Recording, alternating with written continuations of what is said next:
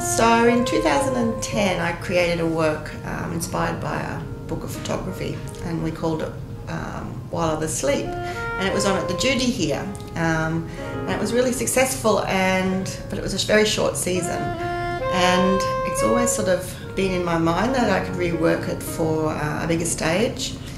Uh, I've been always really interested in voyeurism.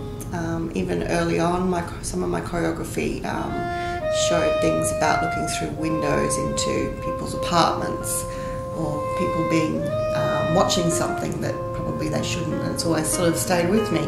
As human beings, we're quite voyeuristic, I think.